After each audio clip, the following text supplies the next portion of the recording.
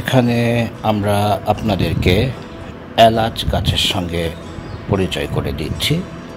ইংরেজিতে এর নাম কার্ডামম। এটির অরিজিন সাউথ এশিয়ায় এবং এটি পৃথিবীব্যাপী একটি জনপ্রিয় মশলা।